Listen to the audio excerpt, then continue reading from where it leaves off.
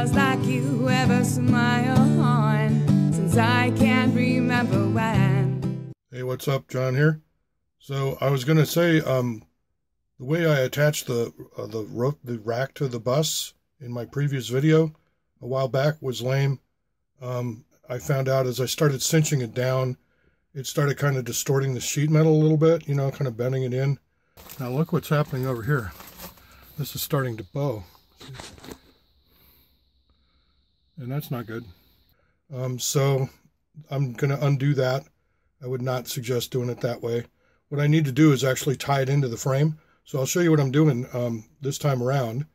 And it happens to be that I'm remodeling the ceiling anyway. So I'm going to do all this all at once, but I just wanted to do an update on the roof rack. Remodeling the ceiling in here, I'm doing what I should have done in the first place and kind of gutting the panel. Most people just actually take this completely out. Um, and I may end up doing that in the other room, but I need to get this done right away. And uh, these things here are a pain in the ass, even though they're an Allen head. Um, I had trouble with them. They just strip out. They're in so tight. So yeah, actually, as it turned out, the first time I tried to unscrew those machine screws, I was using my DeWalt drill as you know as a screwdriver. But then my brother came to do my roof, and he requested that I get an impact driver, which is one of these. Kind of looks like a drill, but um, internally, the main difference is the impact driver. It instead of just turning it, it kind of goes bop bop bop bop bop bop bop bop like that, and uh, so that tends to loosen tight stuff up a lot easier than a drill will. And, and it, to make a long story short, the impact driver that just takes them right out, no stripping, nothing. And what I'm doing is um, in that hollow spot there, I've got, that's wants to be an inch and three quarters, which is kind of an odd size for lumber. I found this stuff. This is uh, one inch. It's not three quarters like it normally would be, and this is three quarters, so this makes an inch and three quarters. I'm screwing these two together and popping them in there, and that's going to fill that space. Uh, before I do that, I'm going to spray foam it. I'm like a three-year-old with the foam. I get it all over the place. But uh, anyway, foam goes in there. I kind of knock these guys in there. It's a nice tight fit. And uh, yeah. See how I'm doing this in here is I've got this uh, piece of angle and uh, that's going to allow the roof rack to be tied into the supports under here. I should have done it this way in the first place.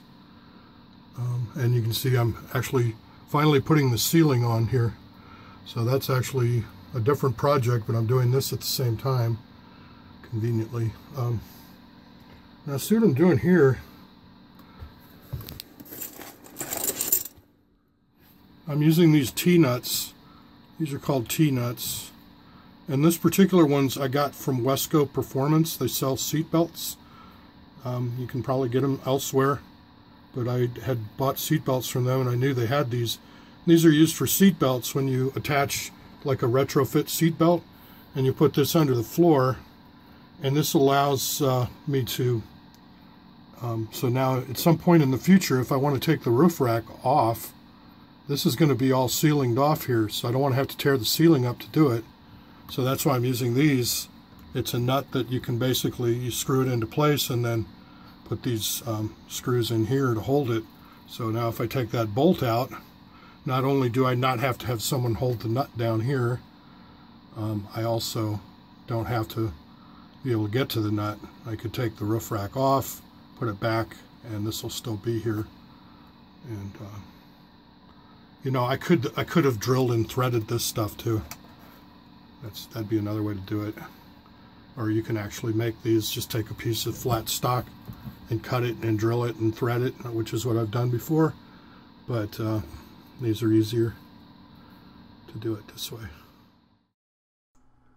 And here's what it looks like in the bathroom when it's all done.